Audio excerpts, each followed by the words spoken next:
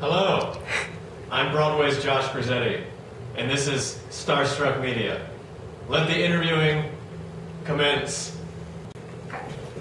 Hey guys, it's Laura from Starstruck Media, and I'm here with, as you said before, Broadway's Josh Grisetti. Woo!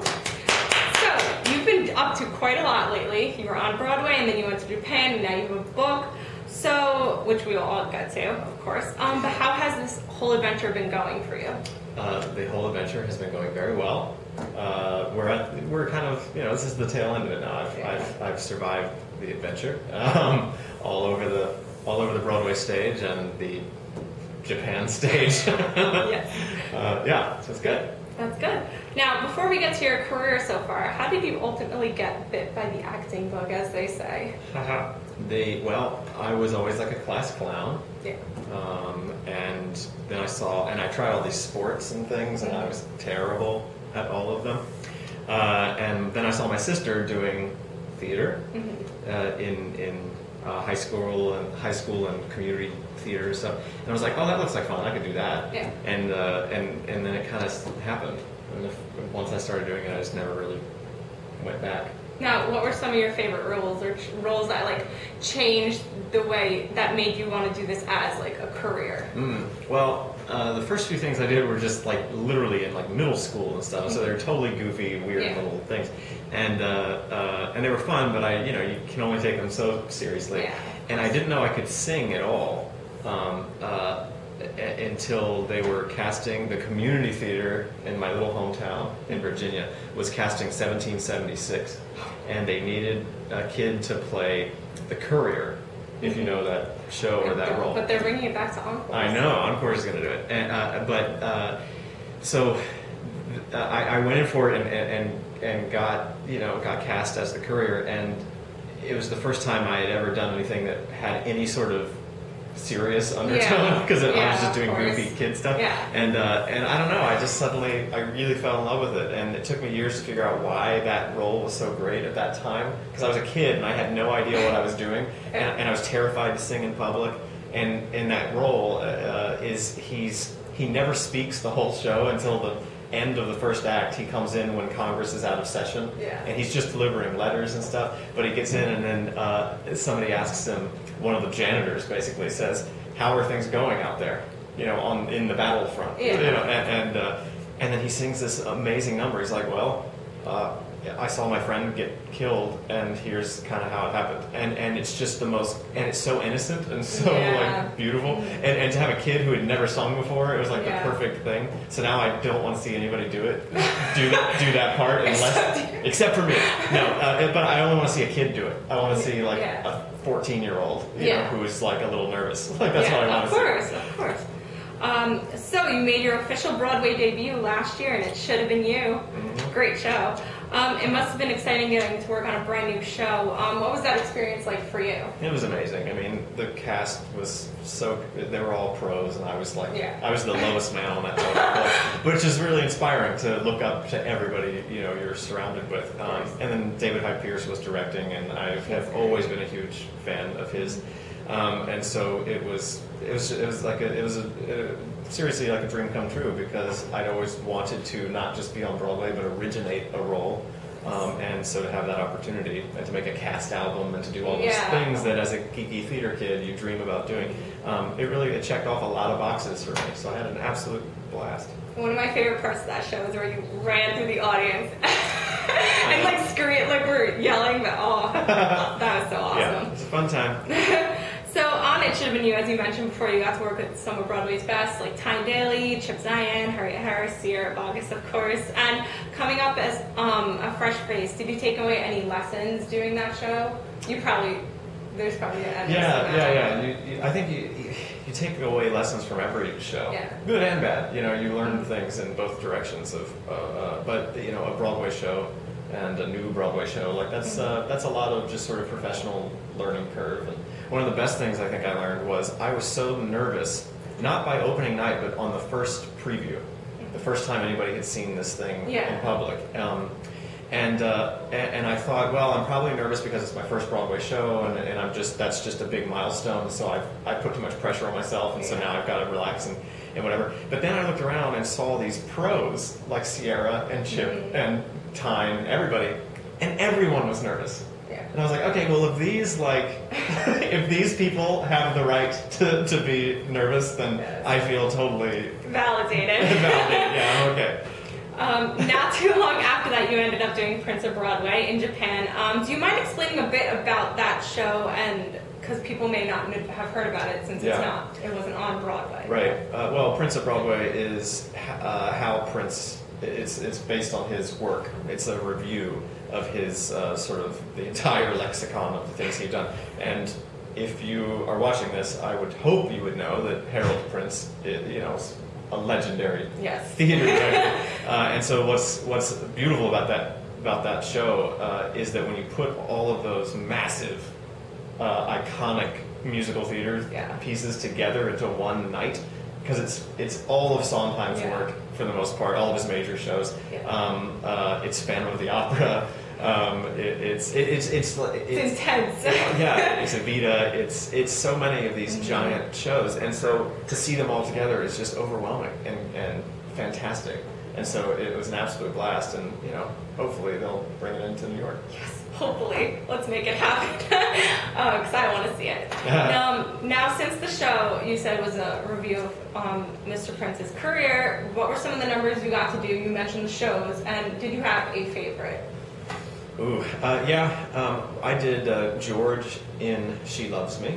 I did the MC in Cabaret. I did Hero in Forum. Uh, and I did Molina in Kiss of the Spider Woman. Uh, and I would say my favorites were uh, were Molina and the MC. yeah. And Molina, I think because I didn't really know that show very well before I did this, and uh, and it's just a little departure from what I normally do in Yeah. theater, so it was fun to do that. And then uh, the MC because it's the It's the most. MC, yeah. the MC. Do I need to explain? no. Um, you got to travel to, to Japan and perform for these new audiences. Were there similarities and differences between the audience there and like on Broadway? I mean, Yeah. I'm sure it's completely different experience. Yeah, you know, people there. people warned me going going over there that um, that audiences in Japan were really quiet and that they didn't applaud after numbers, just because culturally that's what they do. Yeah. They just they said they're very appreciative of it, but they don't make sound until the end of the show because Yeah. they don't want to miss anything and it's like considered rude or something.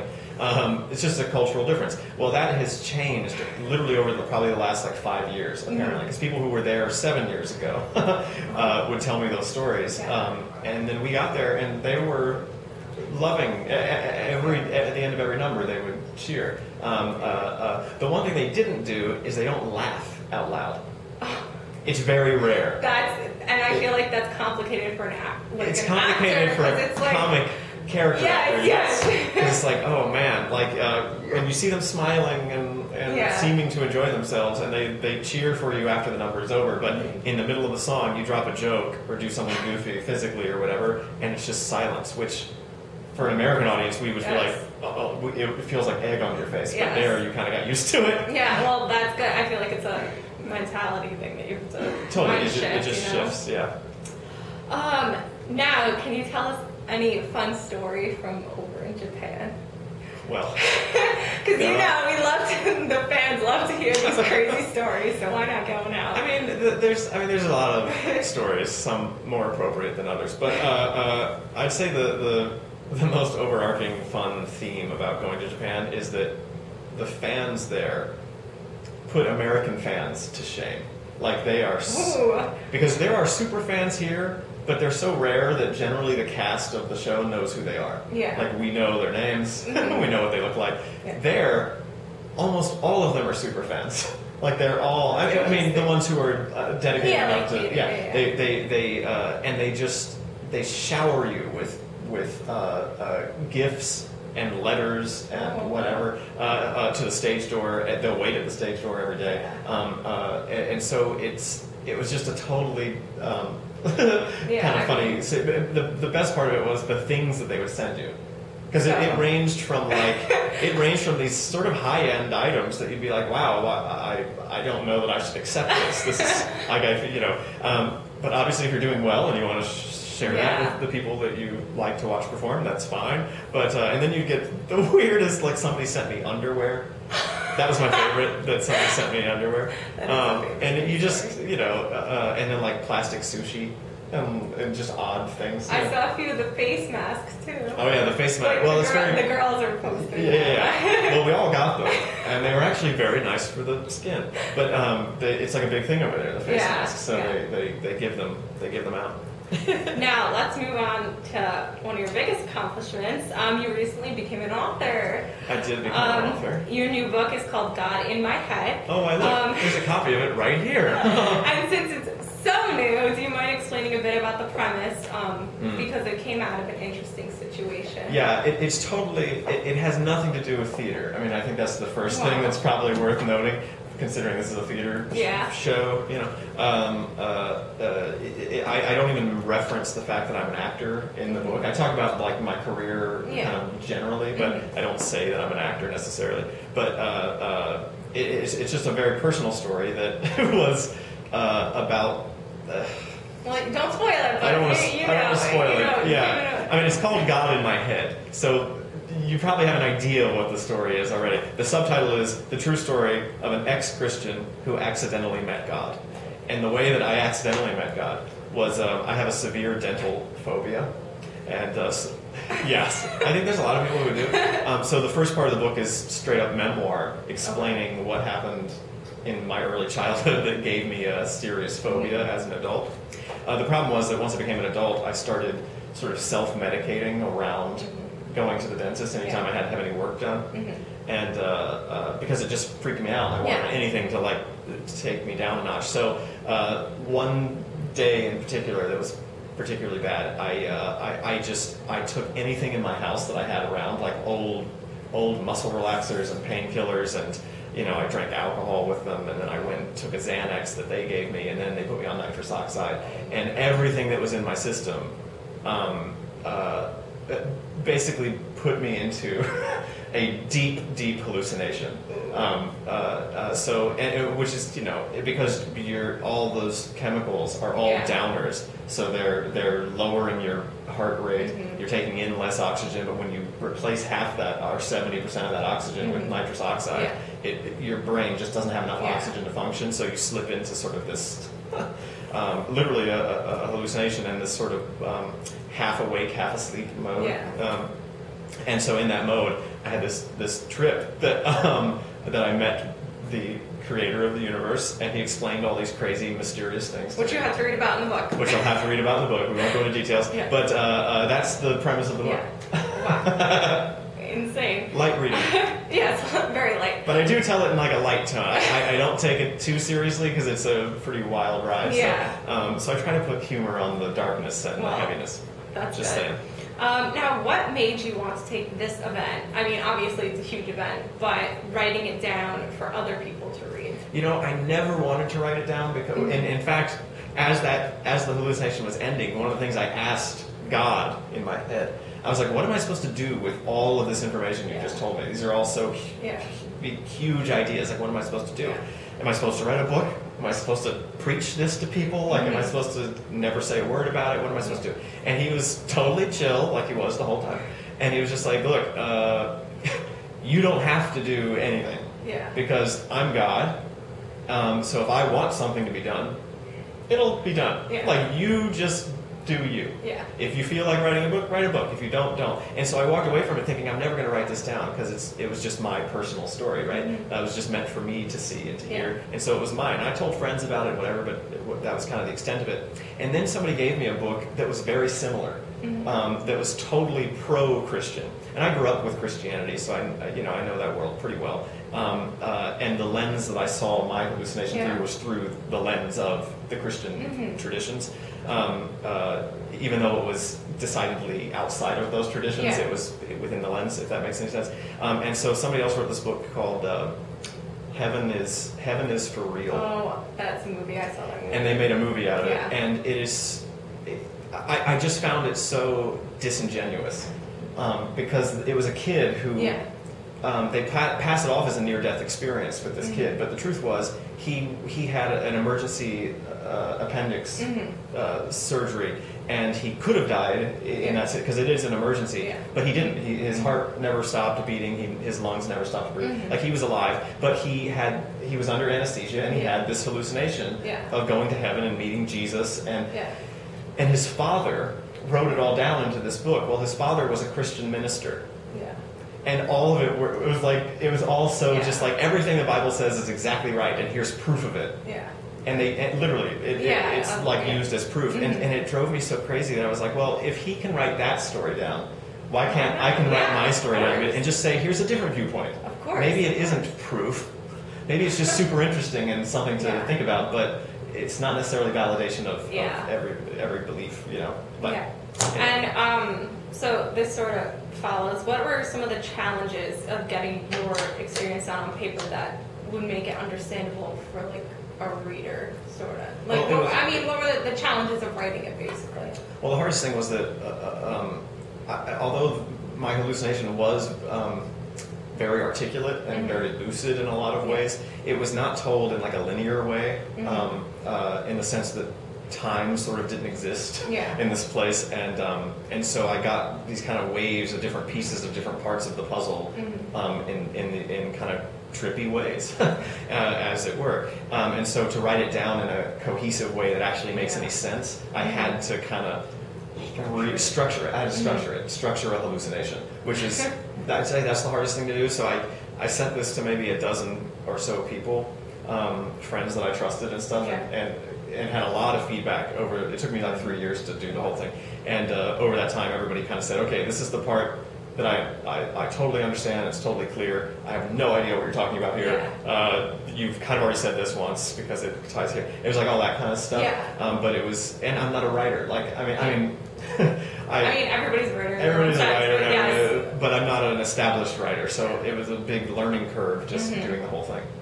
Okay, awesome. And were are there any lessons that you want people to take away possibly after reading the book? Or some authors have that, some don't. Yeah, I mean, I, I, I, I would hope that all I want is for it to be thought provoking. All I want, that there's no lesson that I want to give anybody. I just think, um, I just hope that it raises questions and makes people Yeah. think, oh, that's interesting. What do I think about that? Because I think there's a lot of questions about the meaning of life and um, whether we have any purpose here and what God is or isn't, or if there is one at all, and all those things um, uh, that I, uh, I think you can easily glaze over and not Mhm. address. But I think uh, some of them are really worth addressing because they, they affect you know who you are as a person and how you view the world in a positive or negative way. And so I hope that this uh, at least encourages people to ask themselves those questions. Awesome. And what has been the most rewarding experience of your journey so far, do you think? My journey, Like your theatrical journey? My theatrical journey? journey? my life, my spiritual journey. Um, there's so many highs, you know. Um, That's so hard to answer. There's, there's, that could be answered by the name of a show that's you know a thing. That could be answered by the, the show that paid me the most. That could be answered by the people who have come into my life who meant the most to me and changed my life the most. There's so many ways. So I, I don't know. Well, but I, look at that answer. yeah, it's, it's a hell of an answer. But I would say this past year has been one of the most fulfilling years of my Mhm. life. 2015 was Yeah. a year that will never be forgotten in my sort of timeline Yeah. for a lot of reasons, personal and professional. So um, I'll just I'll, I'll not name a specific thing other than to, to give you the year, which was Sounds good. um, so what's next for you? God only knows. no pun intended. Um, uh, uh, you know, they, they seriously want to bring uh, Prince of Broadway in, um, and depending on when they do it, and Yeah. how they do it, who knows? You know, where we'll all be. Yeah. But it would be great if that if the Japanese cast could be reunited, which is the Oh, intent. yes. They want they want to do that, but Yeah. because some of those performances, particularly like Tony Yazbeck, who's Oh yeah. just a genius. Um, uh, it, I, I, you know, I, it would be a criminal thing if uh, if Broadway audiences didn't see what Japanese audiences saw. yeah. Um, and yeah. for- Real shame. Yeah, yeah, and for Hal's sake, I mean, Yeah. it, it's it's such a celebration of his Oh, life that yes, I, I, yes. It, it, uh, anybody who loves theater needs to see the thing. So Mhm. hopefully it'll be done. Um, but who knows? In the meantime, this is pilot season, so Mhm. we're I'm out there pounding the pavement with the rest of LA and New York, um, trying to book TV shows. So you know, uh, who knows? Tomorrow I could have a series. I, you know, I could replace somebody on Broadway. there's so many options. And anything to say to your fans? What are they called? Gri- Grizzies. Grizzies. How do you not know that? everybody, everybody knows who the Grizzies are. Uh, yes. Grizzies, um, I love you. I love my all my, my huggable minions, as I like to call you. Um, all are welcome to join the Grizzy uh, fan club. Uh, uh, the biggest thing, like we, this, the, my book officially launched literally yesterday, so this is like literally fresh off the thing. And one of the most amazing things, and I think it's only because I have this pool of people who follow me and, Yeah. and support me in this way.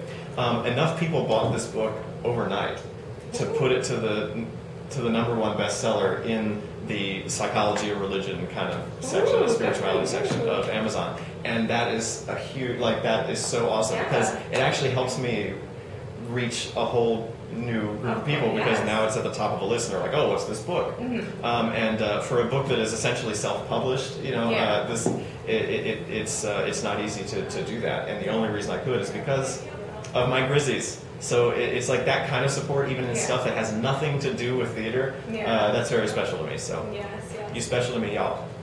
Well, thank you, Josh Grisetti. You're welcome. Thanks for having me. Bye, guys. Bye.